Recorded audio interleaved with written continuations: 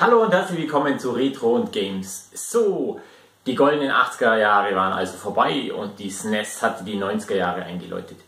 In dieser Zeit begannen sich dann so langsam die späteren Platzhirsche herauszukristallisieren. Wie gesagt, war die SNES 1990 erschienen und war eine der letzten Vertreter der vierten Konsolengeneration, die sich durch 16-Bit CPU, komplexe Grafikfunktionen, mehr Farben und Stereo-Sound auszeichneten. Mit den 90ern begann die fünfte Konsolengeneration mit 32-Bit, Einstieg in die 3D-Grafik sowie CD-ROM als Speichermedium. Dazu spiele ich heute Beneath the Steel Sky auf einem Amiga CD32.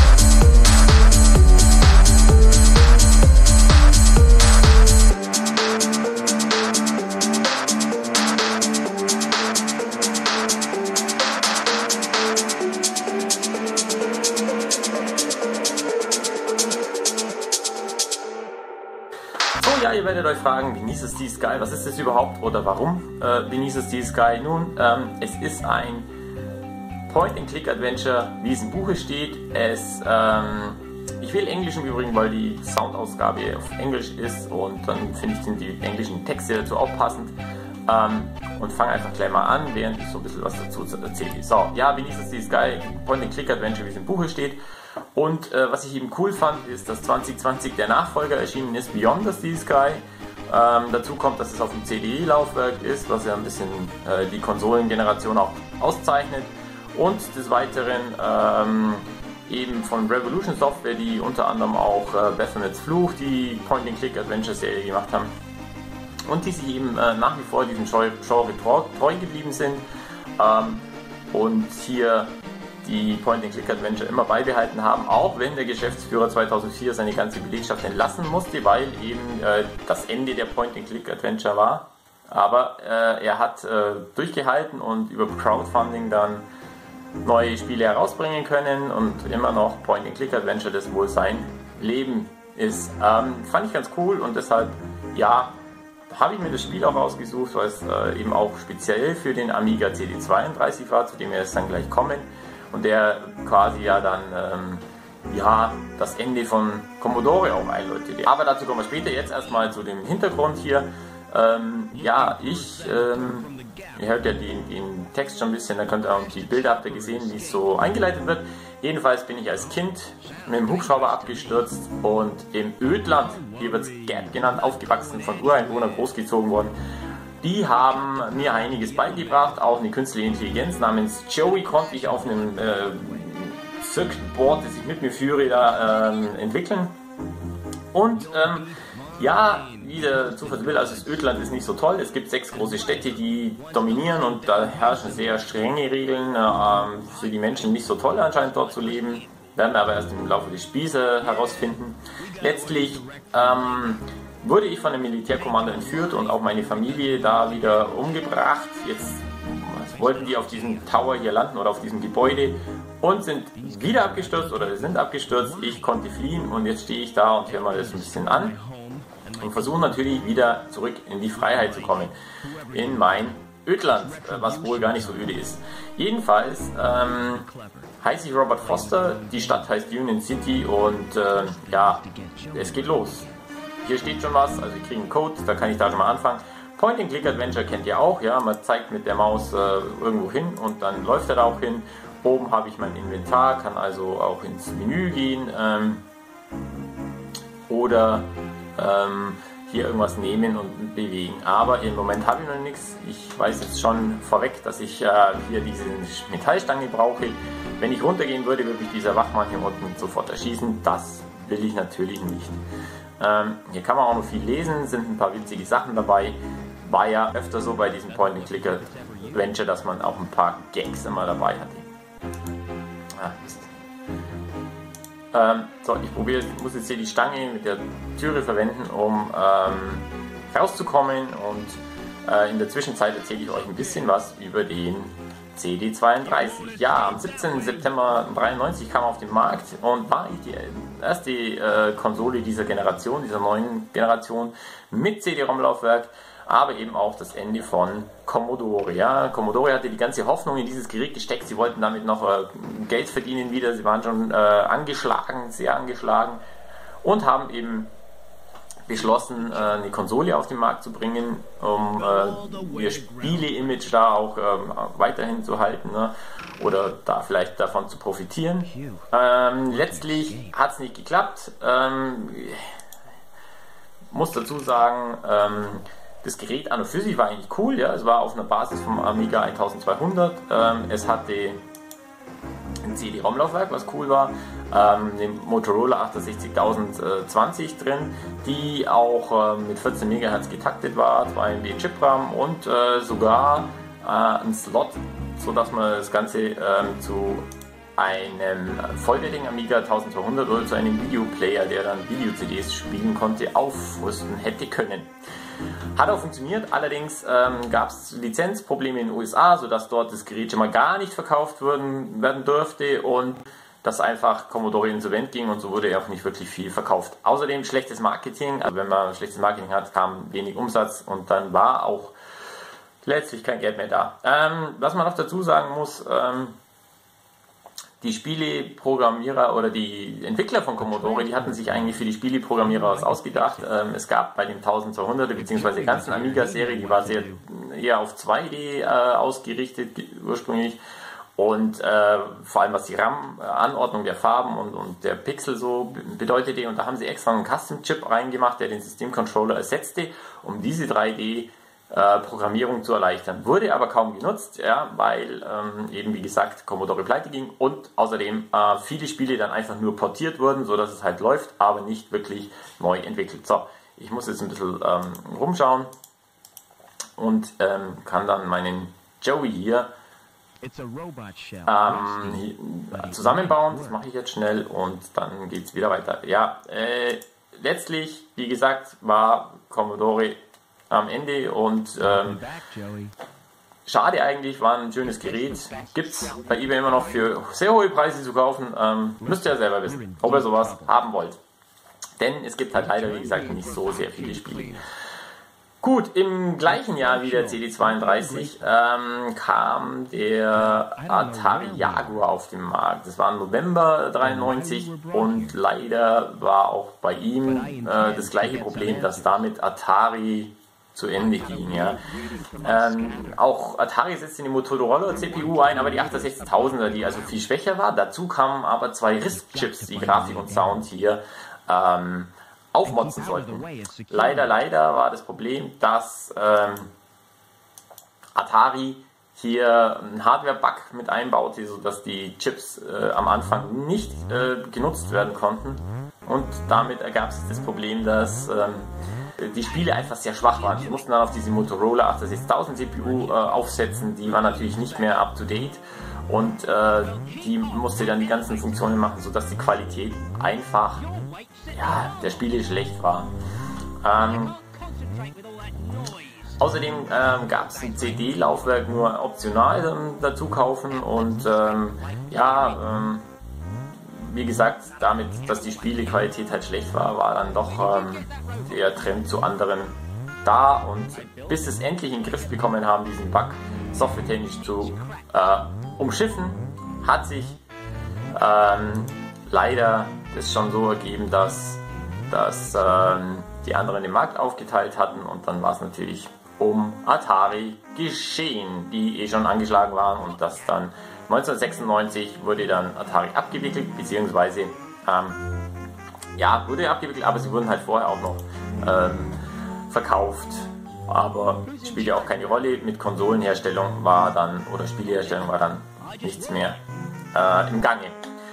Ja, schade, auch um diese schöne Firma und damit äh, ist auch, muss man sagen, äh, sind auch die Konsequenzen dieses ähm, Videogame Crash eigentlich erstmal so richtig deutlich zu, zu sehen, ja. Ähm, es gab keinen amerikanischen Videohersteller mehr, also Konsolenhersteller oder, oder ja gut, Spielehersteller schon noch, aber keinen, der mehr Hardware herstellte. Ähm, nachdem einfach nach dem Videogame Crash schon viele pleite gingen und jetzt noch die Rest, Reste, also der letzte, der Atari, der größte, auch noch pleite ging, war es damit um alle amerikanischen Konsolenhersteller geschehen erst. 2001. Sollte ja dann Microsoft mit der Xbox wiederkommen, ja. Aber ähm, bis dahin war Ebbe. nichtsdestotrotz, es gab äh, natürlich ähm, andere Hersteller, und zwar die Japaner, die kamen, ja.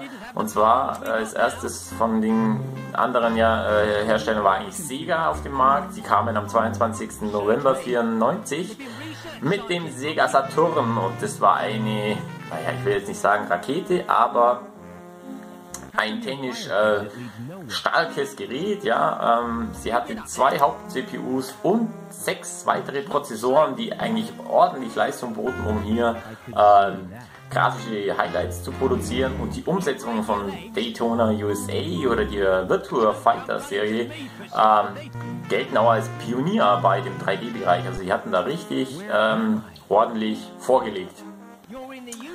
Allerdings ähm, kommt es natürlich auch so, dass ähm, die ganzen Hardware-Sachen ähm, ein bisschen komplex waren zu programmieren. Da kommt dazu, dass äh, Sega kein Entwicklerkit bereitlegt ist oder, äh, Unterstützung, äh, ja, kein Entwicklerkit bereitstellte, der, der es ermöglicht hätte, einfach diese Maschine zu programmieren und die Komplexität, die dann da war mit den ganzen Prozessoren, hat viele dazu veranlasst, ähm, einfach nur die ganzen Chips rudimentär zu unterstützen und einfach nur einen einzusetzen und äh, die anderen halt so ein bisschen beiläufig ähm, nur mitzuführen, aber nicht wirklich zu nutzen. Ja, also wurde das Leistungspotenzial eigentlich gar nicht ausgenutzt.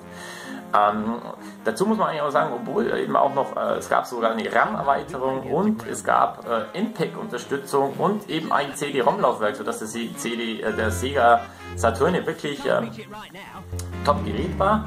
Aber äh, wie gesagt, die, die äh, Sache mit dem Entwicklerkit war natürlich ein Nachteil und was natürlich auch noch ein Nachteil war, ist klar, wenn man so viel CPUs einsetzt, kostet es natürlich. Und ähm, ja, auch wenn sie dann quasi von der Performance her und Leistung mit Arcade-Automaten mithalten konnten, so war das ja preislich natürlich auch sehr äh, ordentlich und entsprechend ähm, war das nicht reizvoll für ähm, für manche Käufer dann diesen teuren Preis zu zahlen, um, um äh, so ein Gerät zu haben.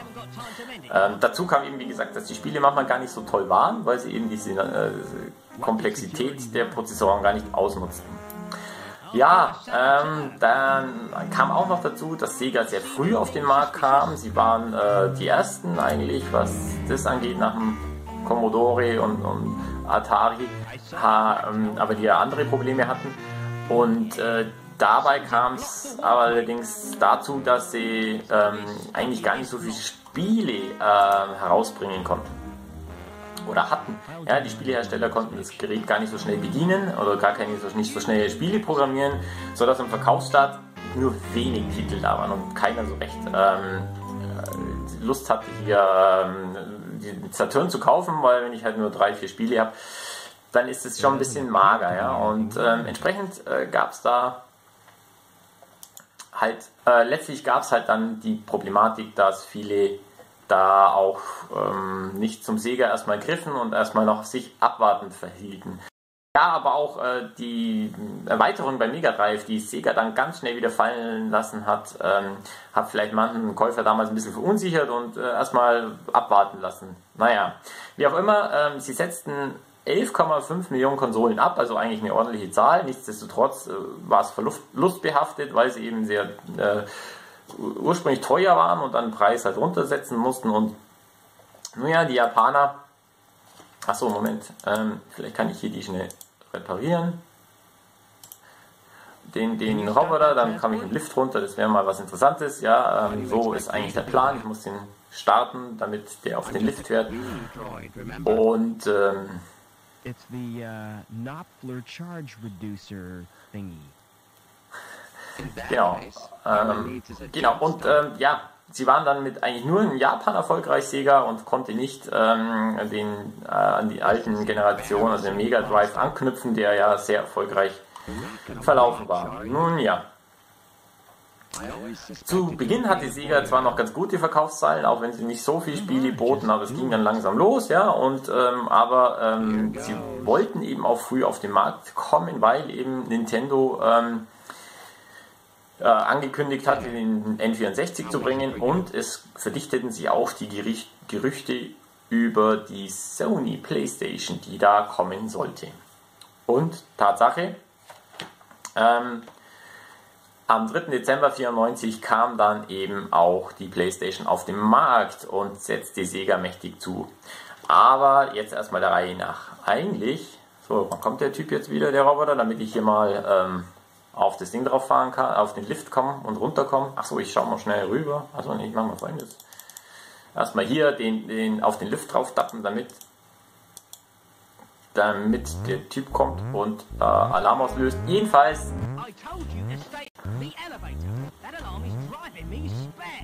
Muss ich schnell äh, darüber laufen. Schnell, schnell, schnell, schnell, schnell. Lauf, lauf, lauf, lauf, lauf. Genau. Ja.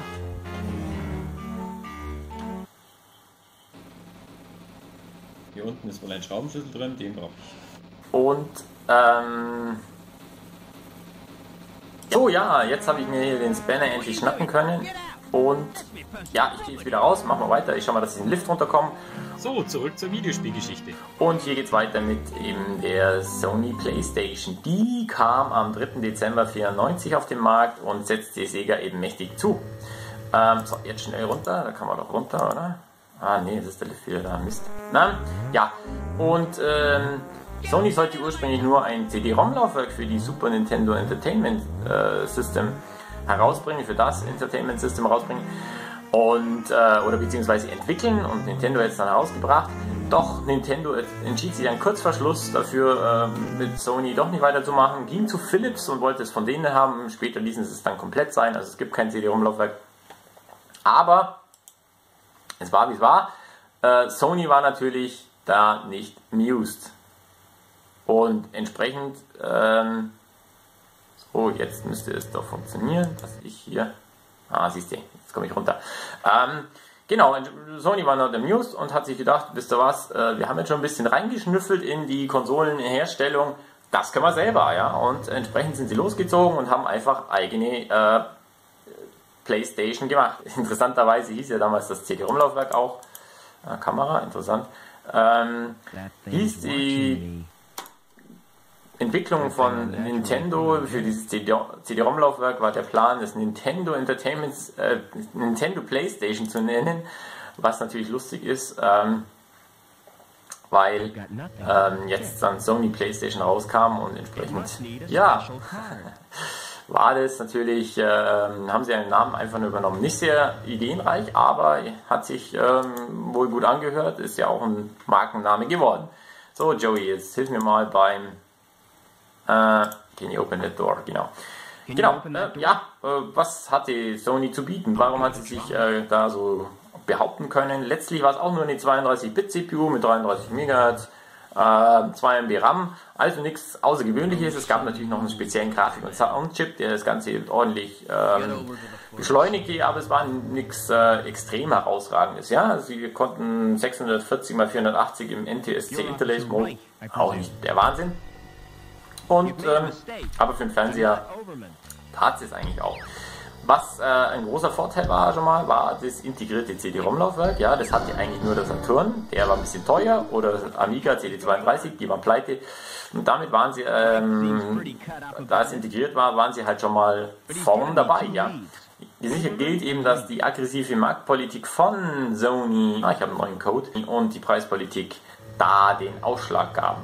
Und entsprechend ähm, ja, war es so, dass äh, die Sony da als Sieger eigentlich dieser Konsolengeneration der fünften hervorging. Ähm, beispielhaft ist da zum Beispiel, ähm, dass zu Beginn äh, die PlayStation 299 Dollar kostete und äh, der Saturn noch 399 und ähm, als dann der Nintendo 64 mit 249 Dollar auf den Markt kam, hat Sony ganz schnell den Preis für ihre PlayStation auf 199 Dollar runtergesetzt.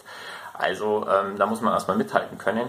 Und für Sega war das nicht mehr möglich und auch diese Marketingkampagnen waren einfach ähm, für den Spielehersteller eigentlich, einen kleinen Kon äh, ja, Konzern eben nicht, sondern eine kleine Firma wie Sega nicht mehr möglich. Sony hat da als Konzern einfach richtig reingehauen sich somit durchgesetzt. Ja.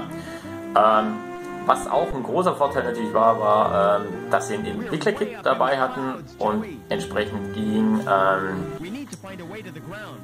war es einfach 3D-Spiele herzustellen ne? und damit hatten sie auch ein bisschen ja, einen Vorteil sich herausgearbeitet. Als letztes kam vielleicht noch ein kleines Argument dazu, äh, sich für eine Playstation zu entscheiden, das aber erst zum späteren Zeitpunkt.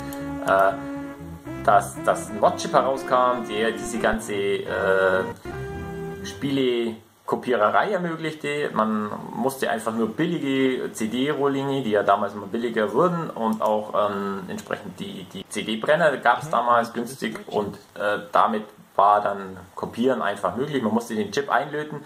War nicht ganz so einfach, aber ein paar äh, Jungs konnten das und boten das als Service dann an. Und ähm, ja, da Sony nur äh, defekte Sektoren auf den CDs als äh, Kopierschutz hatte, war das dann halt einfach möglich, das zu umgehen. Die Sony PlayStation verkaufte sich äh, weltweit über 100 Millionen Mal und war damit ein Riesenerfolg und ging als Sieger dieser Konsolengeneration hervor. So. Der Typ hier lässt mir nicht viel zu, macht nichts, wir gehen weiter in der Videospielegeschichte. Zu guter Letzt, was die fünfte Konsolengeneration betrifft, kam der Nintendo 64 auf den Markt. Ähm, 64, ja, er hatte eine 64-Bit-CPU und das wurde auch groß ähm, vermarktet. Ähm, man preiste das als super an, die schnellste CPU in einer Konsole. Dem war auch so, aber die technischen Vorteile waren gar nicht so groß. Nintendo 64C trotzdem zur fünften Konsolengeneration, auch wenn er 64-Bit hatte, denn es war einfach diese Zeit, in der diese Konsolen kamen. Ähm, die technischen Leistungen waren gar nicht äh, so ausreißend äh, stark, dass man sagt, das ist schon ein mixtes Modell. Ja. Und ähm, hatte natürlich schon ordentlich Wumms, also ich sehe sich jetzt gar nicht so viel zu machen. Äh, ja, mit dem Nintendo 64 hat ähm, Nintendo die, die 32-Bit-Generation übersprungen, aber was natürlich der Nachteil war, insofern, es kostet die Zeit, so eine 64-Bit-CPU mal zu integrieren und zu, äh, herzustellen und das Ganze drumherum war aufwendig und nicht so einfach. Man war auf neuem Terrain und hat entsprechend, ja, ich will mal sagen, ähm, Zeit dadurch verbraten. Ähm, letztlich ähm, kam noch dazu, dass ähm, der Titel, den man als äh, Launch-Titel haben wollte, Super Mario 64 als 3D-Applikation, eben weil man auf den 3D-Markt setzte, äh, auch noch sehr viel Zeit in Anspruch nahm und immer wieder zu Verzögerungen kam. Selbst am Schluss hat, äh, wollte man eigentlich noch länger dieses Spiel entwickeln, um es noch besser zu machen, aber man ließ dann ein paar Kleinigkeiten weg und brachte es auf den Markt, weil man einfach schon sehr spät dran war. Denn Sony hatte mit der PlayStation eben den Markt eigentlich schon abgegrast, als man dann wirklich endlich auf den Markt kam. Ja. Wie auch immer, es war so, dass ähm, der Hauptprozessor 93 MHz getaktet war, also richtig ordentlich und auch, ähm, so ja, ich komme hier gar nicht weiter, ähm, und auch äh, der Grafik- und Soundprozessor mit jeweils 62 MHz äh, ordentlich schnell waren und die Auflösung zwar nur ein NTSC 646 x 486 Pixel war, also nicht so überragend, aber für den Fernseher halt immer noch ausreichend. So, da steht jetzt ein Fachmann, da kommen wir wahrscheinlich nicht durch. Aber vielleicht können wir mal mit ihm reden. Ähm, ja, für den 3D-Bereich war es wirklich fortschrittlich und konnte einiges bieten. Äh, aber ähm, wie gesagt, war halt ein bisschen spät dran und ähm, von daher war es auch nicht äh, der Renner, die Nintendo 64. Man muss dazu sagen, äh, Nintendo hat sich mal wieder was Neues überlegt, was, ähm, äh, was die Bedienung angeht. Da sind sie ja immer sehr fortschrittlich. Sie haben äh, Analog-Sticks eingeführt. Es gab damals ja bei ähm, Pong schon diese analogen Pedals, aber danach war alles digital und jetzt wieder mit dem analogen war es eigentlich interessant, weil sie damit schafften, die, die 3D-Bewegungen sehr gut ähm, zu steuern, steuern zu lassen, ja, diese Figuren. Das war eben einfacher als mit digitalen Joysticks oder Gamepads. Ähm, dazu kam ein Erweiterungspack für den äh, ganzen Controller der Vibration auslöst. Dadurch kommt man eben äh, das, dieses Gerät, dieses Gamepad einfach vibrieren lassen und das war natürlich auch neuartig. Ist ja beides heutzutage ähm, Stand der Technik, ja, in jedem äh, Gamepad ist das drin. Und von daher wieder mal was Tolles äh, ge, ge, äh, herausgebracht, ja, wieder was Neues auf den Markt gebracht. So, ähm, Letztlich ein großer Nachteil des N64 ist, dass es nur äh, auf Modulen Spiele herausbringen konnte, kein CD-ROM-Laufwerk hatte, ähm, nur ein Modulschacht. Und die Module waren natürlich teuer. Ja? So ein CD-Rohling kostet nicht viel, aber ein Modulschacht ist sehr teuer. So, ähm, da gehen wir nochmal in die Tür rein. Da passiert aber auch nicht viel, glaube ich. That elevator leads to Security HQ. Na, Security Headquarter. Ich gehe mal wieder raus. Ähm, ist nicht so interessant. Ich glaube, ich muss erstmal da drüben irgendwo die Produktion stoppen. Da habe ich was im Internet gelesen. Jedenfalls, ähm, ja, war es so, dass Sony, äh, äh, Sony, das Nintendo hier weiterhin auf Module setzt. Und da gibt es ein, ein, echtes Negativbeispiel letztlich. Ähm, es war nämlich so, dass ähm, das Spiel Conquer's Bad Fur Day kostete rund 180 Mark damals und 180 Mark war eine ordentliche Summe. Ähm, da konnte man sich schon überlegen, ob man das wirklich haben wollte. Ja. Dennoch wurde das Gerät natürlich über 30 Millionen Mal verkauft, was wahrscheinlich auch eben an diesen Helden äh, Mario und, und äh, Link lag, ja, Zelda, die Spieleserie, auch hier wurden äh, Titel veröffentlicht, Mario sowieso und entsprechend äh, wollten das bestimmt viele haben und die gab es ja nur exklusiv für den Nintendo, ja, ist klar.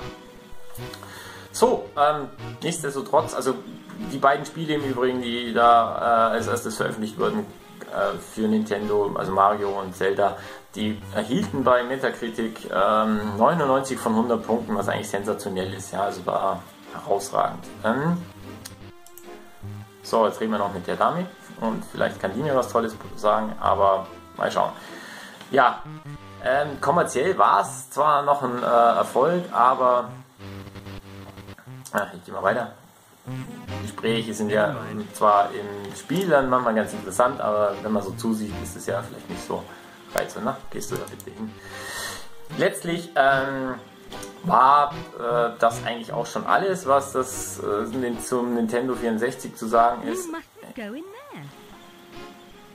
Ich darf da nicht hin, wieso nicht? Ähm, letztlich war es dann doch ein kommerzieller Erfolg für Nintendo, aber natürlich hatte man sich viel mehr versprochen und äh, somit war es nicht so durchschlagend wie, wie erwartet. Aber wie gesagt, es war kommerzieller Erfolg und Nintendo konnte weiter am Markt bleiben. Ja. Äh, Sega hat eben Verluste hinnehmen müssen und hat sich das dann äh, schon schwer überlegt, nochmal in die Konsole herauszubringen. Haben sie aber dann gemacht mit dem Dreamcast, aber dafür hören wir dann später nochmal mehr. Im nächsten Teil der Videoserie. So, lass mich jetzt darüber.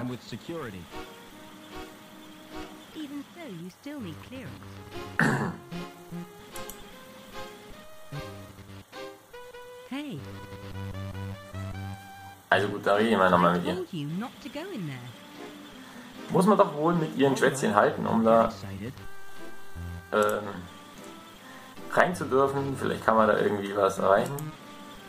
So, ja, was gibt es noch zu den ganzen Konsolen zu sagen? Ja, die fünfte Generation war damit ähm, am Laufen.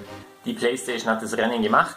Ähm, ganz klar und deutlich. Und ähm, es gab natürlich dann noch die Computerhersteller, ja, die darf man nicht vergessen. Es war Apple, die bauten äh, schnellere Macintosh, ähm, wurden aber auch nicht mehr so zum Spielecomputer. Natürlich ähm, gab es viele Spiele, die auf dieser Plattform hergestellt wurden oder veröffentlicht wurden auch. Ähm, viele äh, große Titel wurden ja sowieso auf mehreren äh, Plattformen hergestellt oder veröffentlicht. Entsprechend äh, natürlich auch war Apple Macintosh dabei, aber die waren so ein bisschen mehr in der Arbeitswelt angesiedelt und ähm, sind da auch zu Hause geblieben sozusagen und äh, ja, klar gab es äh, Spiele auch, aber ja, vielleicht nicht mehr so zu dieser Konsolengeneration da zuzuzählen. Ähm, anders fehlt es ein bisschen äh, mit den PCs, die ähm, kamen 1993 äh, mit dem Intel Pentium einen Schritt weiter, ja, und auch VGA wurde zum Standard bei den Grafikkarten. Allerdings haben, hielten die meisten äh, Spielehersteller noch den äh, Basic-Modus dann ein, setzen den Basic-Modus ein, um mit alten Grafiken kompatibel zu sein. Und das bedeutet eigentlich, dass sie nur 320 x 200 Pixel nutzen, um ein Spiel äh, darzustellen oder zu haben, was eigentlich schon schlechte Auflösung ist, aber Doom und Wolfenstein 3D sind noch in diesem Modus. Und ähm, die kamen da auch auf den Markt und waren natürlich auch große Erfolge. Ähm, ja, der PC wurde somit also immer mehr als ähm, Spieleplattform auch wahrgenommen und hat sich da auch noch mehr durchgesetzt. Letztlich lag es ja auch daran, dass viele dann einfach PCs kauften und zu Hause hatten. Da wollte man natürlich auch den Markt hier bedienen. Ähm, dass sich viele dann PCs und Konsole kaufen, war nicht so äh, gesetzt. Ja, von daher haben wir einfach auch versucht, den Spielemarkt, die halt, wo geht denn jetzt hin? Wollten dann eben auch diesen Markt noch bedienen und das haben sie dann auch geschafft. So, ja, das war jetzt irgendwie nicht so erfolgreich. Ich dachte, ich kann hier ein bisschen mehr machen. Letztlich ähm, schauen wir noch hier lang, was da ist. Oh, da ist das Helikopter. Da wird man auch nicht äh, viel machen können. Vermute ich mal. Oder? Und ähm, ja, da hat er Glück gehabt. Jetzt rede ich mal mit dem Officer vielleicht. Äh, kann ich mir was sagen, aber ich denke, der wird nichts Neues rausbringen. Letztlich ähm, war es das schon von der ganzen Videospiele-Geschichte der fünften Generation. Es gibt natürlich einen Nachfolger. Ähm, Film, den oder YouTube-Video, das ich äh, demnächst machen werde und äh, es wäre natürlich auch schön, wenn ihr das wieder anschaut. Ich belasse es jetzt dabei und sage danke fürs Zuschauen und ähm, äh, naja großes Schwätzchen will ich hier gar nicht mehr halten. Ähm, ja, ich bedanke mich fürs Zusehen. Gehe jetzt wieder zurück. Ich versuche es nochmal in der Produktionshalle, um vielleicht da irgendwie weiterzukommen. Die Dame ist ja jetzt weg, vielleicht hält die mich nicht mehr auf. Mal schauen, ob der Typ nur da ist. Vielleicht kann ich auch dem irgendwie überzeugen, dass er mich da weiterlässt. Das sah eigentlich nach. Ah, jetzt läuft er auch raus. Sehr gut. Das bedeutet, jetzt müsste die, der Weg frei sein, hoffe ich. Werden wir sehen. Ja, wie gesagt, ich bedanke mich fürs Zusehen und schaut wieder rein, wenn es heißt Retro und Games und äh, ciao, bis dann.